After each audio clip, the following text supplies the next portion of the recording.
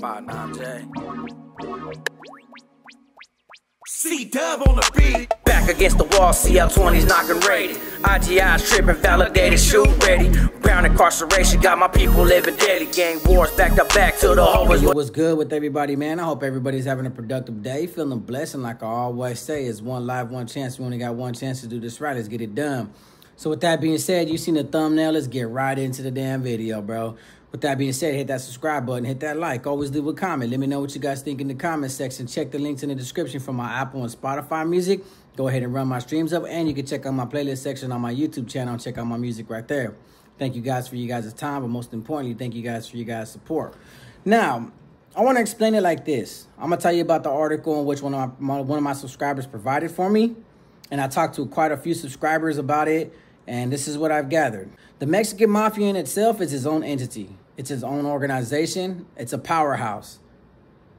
They have a lot of control in the states and in the feds. I'm not sure which side is more stronger than the others or which one's more powerful than the other, but they're a force to be reckoned with. And I tell you that because honestly, my perception is this they're nothing but freelancers and mercenaries. In this particular situation, it was the leader of the uh, Gulf cartel, Los Zetas. He got transferred to ADX September 2019. He arrived there, and then all of a sudden, El Chapo arrives there. But El Chapo Guzman didn't have nothing to do with this one. This one, he landed in a cell with a Sureño named Francisco Garcia. And the Mexican mafia right there said, you know what, we're going to extort this man.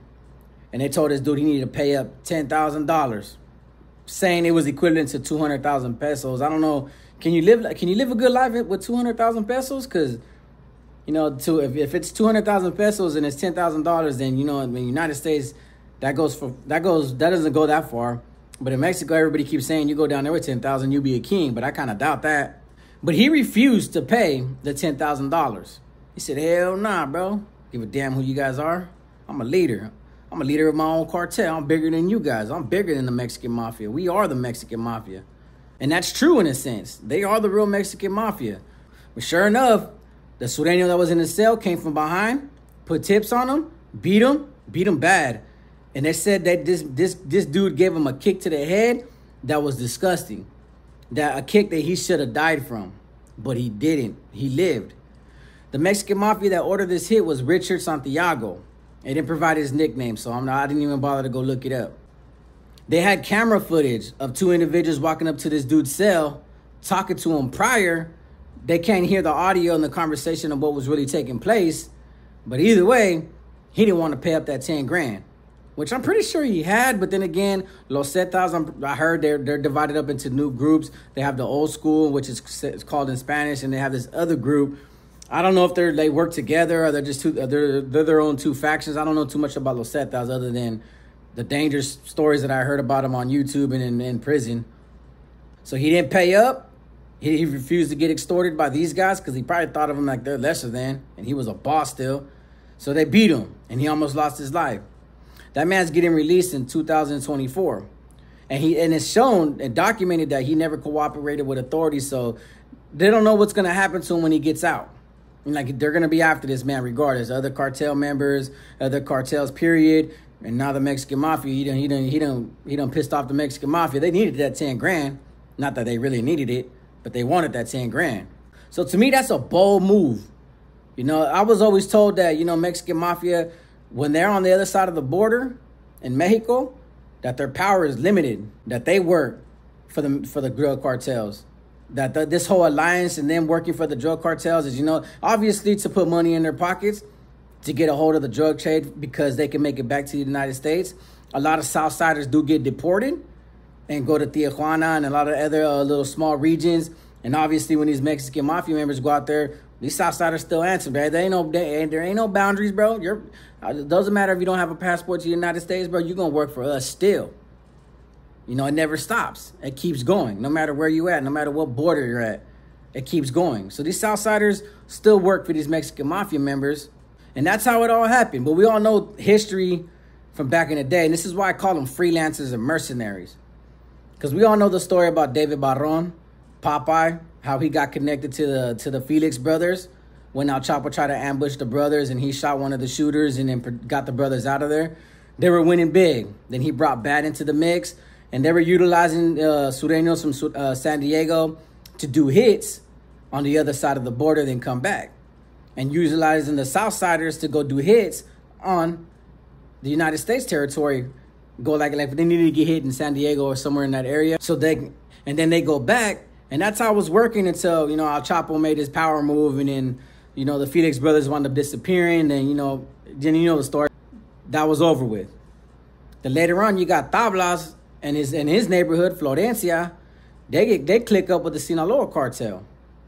Then they wind up getting indicted.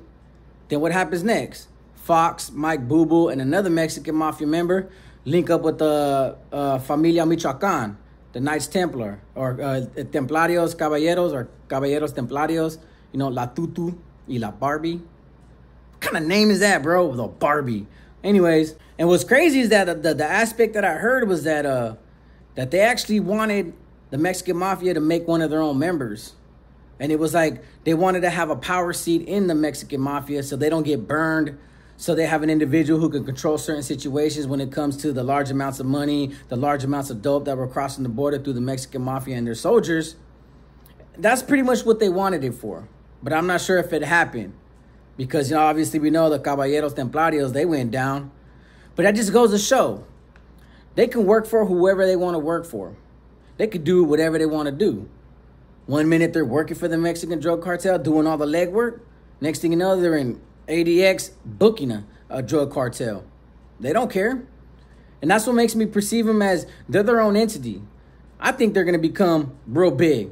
I mean, it takes time. They got control of a lot of the penal systems. They're branching out. You have a lot of Sureño barrios just coming out of the, everywhere. Northern California, Washington, you know, all the different states, they are going to be a force to be reckoned with. There's going to be a lot of people getting hurt in the process because we know how they play dirty politics. We know how they're willing to take out their own brothers. And we know how they're these brothers, these so these so-called carnales, they'll fight for each other's territory. Why why share territories or why split territories when I can have it all type mentality. So they're are they're already making power moves as you can see all through, uh, throughout YouTube. They're already making power moves on one another, getting greedy, Loyalty and respect, that's a temporary time. It only lasts for so long. Money, power, and respect goes a lot farther with these guys. So you got to admit, knocking this dude down and trying to get 10,000 out of him, which I'm pretty sure the Mexican mafia don't need in the feds, period. But they wanted it anyways. They wanted to show their hand. They wanted to force it. And they wanted to show everybody that, you know, they're above everybody else. In the same fashion, when they go to uh, across the border and the Mexican drug cartels look at them like, bro, you work for us, bro. No, we the mafiosos. And they're saying, in the, in the Mexican mafia mentality, they're thinking the same thing. Nah, bro, we're the mafiosos. We do what we want. We work for who we want to work for. Can nobody tell us what to do? We are our own organization. And I think that's what makes them powerful. But a simple fact, they can say, you know, this cartel, I'm gonna work with this cartel, I'm gonna work with this cartel, then I'm gonna establish something later over here. And they wind up during that whole process when uh when Fox and everybody got indicted, there's an actual article which I'm gonna I'm gonna get into on a later date. It was an MS-13 that helped solidify and stronger, strong ties, because he got deported to Tijuana after he got out the feds, and he was like pretty much like a secretary for Fox. So to me, they that, that they have the upper hand because they're on both sides. There's already, there's even a couple of prisons in Mexico that they actually run that they're in control of that belongs to them. Not all of them. Most of the prisons in Mexico usually are controlled by the cartels in whatever region it's in. These guys that have the ability and the manpower to get back and forth on that border. And most of the time, the areas in which they control are close to that border, where it makes it that much easier. They're the ones that get the dope before anybody. And now they have they have a slight control of the MS-13 in LA that actually get deported in El Salvador to end up landing in Tijuana and then, and getting smuggled back into the country. They got twice the manpower now. They got Sureños and MS-13. They only got the loyalty of the MS-13 that are in Cali though. And I'm gonna talk about that in another video because I got a crazy story to tell you about that provided by my viewers. See, the thing about it is these guys' reach is far. The black hand reaches really far. And they're getting to the point, they're getting bold and arrogant, like, bro, I will slap around a, a Mexican drug cartel. I don't care.